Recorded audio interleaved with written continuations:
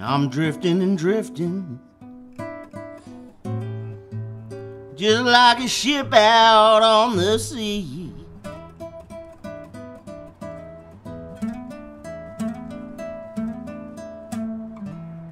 I'm drifting and drifting. Just like a ship out on the sea.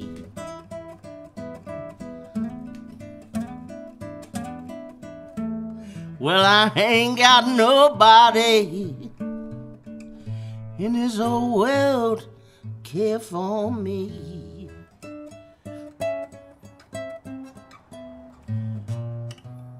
I'll give you all my money.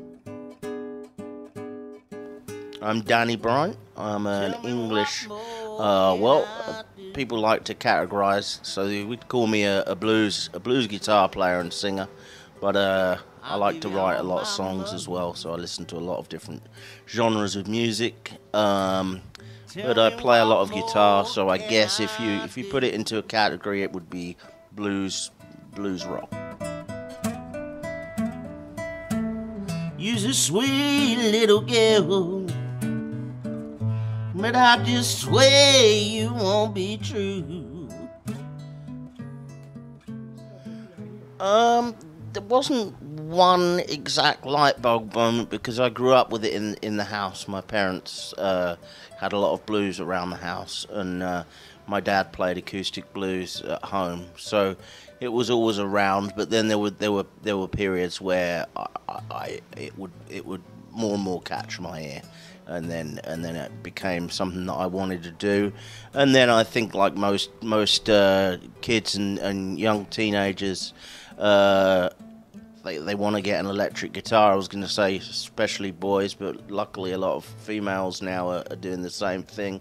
And I think that a lot of people do gravitate towards this genre of music because it does, you know, the guitar is usually predominantly the lead instrument.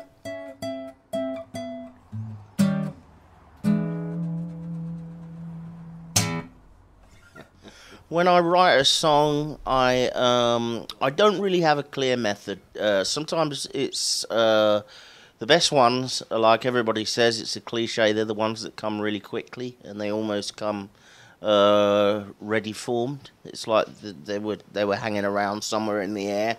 I know you just needed to pull them out of the air and put them on paper. They're the ones that wake you up in the middle of the night and won't let you sleep, and you and that does happen, and you have to get those down quick um, and other ones get constructed almost like a, a mathematical equation. You'll have some lyrics from one song and, and um, a really good hook from another one, and one part one song isn't working, one part the other one isn't working. You put the two together.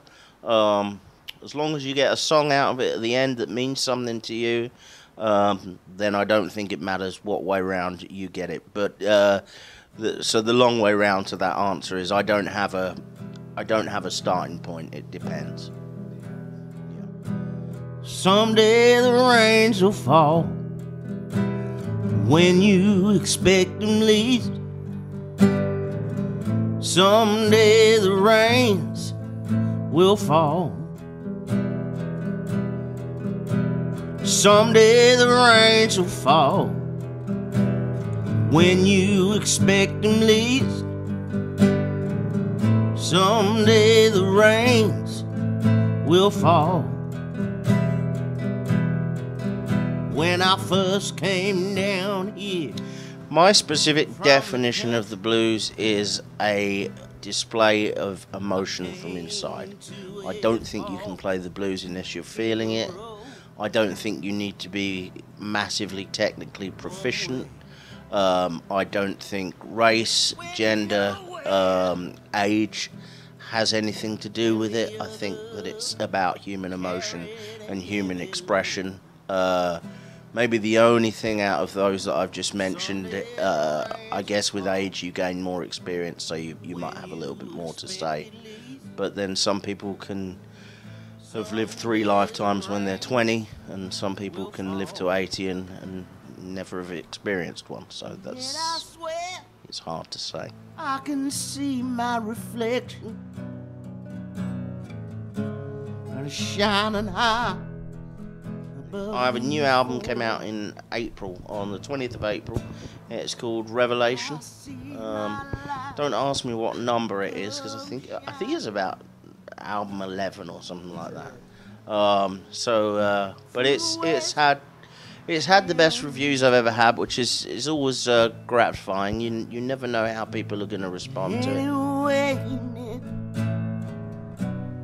Any day now, God knows I shall be released.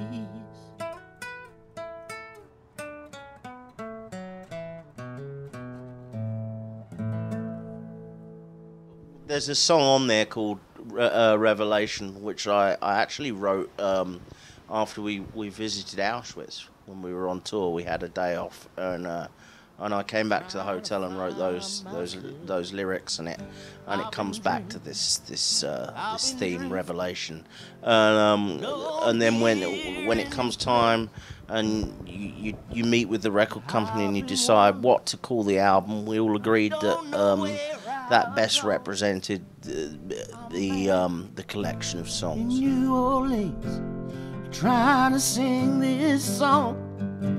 I've been out on the highway, lonely as it seems. I've been chasing these memories.